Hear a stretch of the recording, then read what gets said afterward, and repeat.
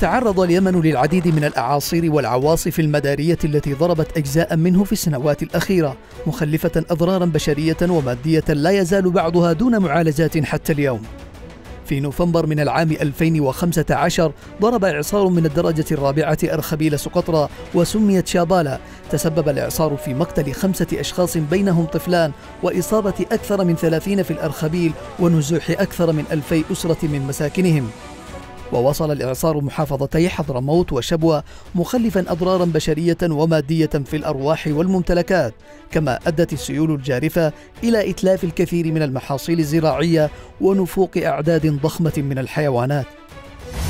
بعد أسبوع من إعصار تشابالا ضرب إعصار ميت جزيرة سقطرى وتسبب في مقتل شخصين وإصابة العشرات وخلف أضرارا كبيرة في البنية التحتية كما تسبب بتهدم أكثر من ثلاثة آلاف منزل وتجاوز عدد النازحين عشرة آلاف.